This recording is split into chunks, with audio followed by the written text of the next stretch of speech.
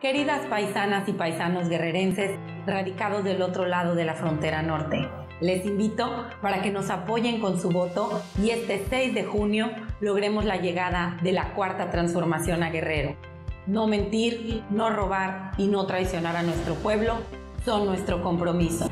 Voy a renovar el programa 3 por 1 para apoyar a nuestros pueblos rurales que por muchos años se han mantenido en la marginación. Todos los guerrerenses tienen derecho a tener sus documentos, no importa en dónde estén.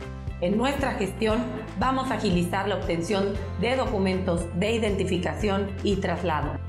Ustedes son aliados del desarrollo, ya que con las remesas que envían ayudan a su familia y a su comunidad, por lo que son pieza clave en la reconstrucción de nuestro Estado. Este será un gobierno incluyente que atienda a todos los sectores de la población sin discriminar a nadie. Será un gobierno justo y honesto. Venimos a servir a la gente y a que juntas y juntos transformemos Guerrero.